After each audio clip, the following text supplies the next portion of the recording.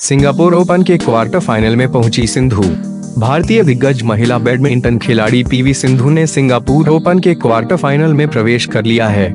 गुरुवार को खेले गए प्री क्वार्टर फाइनल में सिंधु ने विश्व की 22वें नंबर की खिलाड़ी डेनमार्क की मिया ब्लीफेल्डर को शिकस्त दी। क्वार्टर फाइनल में सिंधु का सामना चीन की कायान से होगा। चौथी सीट सिंधु ने तीन लाख पचपन हज़ार अमेरिकी डॉलर वाले इस टूर्नामेंट में ब्लेफेल्डट को सीधे गेम में इक्कीस से तेरह, इक्कीस से उन्नीस से पराजित किया। दोनों खिलाड़ियों के बीच यह मुकाबला 40 मिनट तक चला। सिंधु और ब्लेफेल्डट के बीच यह दूसरा मैच था और उन्होंने शुरुआत से ही दमदार खेल दिखाया। पहले गेम में सिंधु ने एक तरफा जीत दर्ज की, जबकि दूसरे गेम में उन्हें थोड़ी बहुत टक्कर मिली।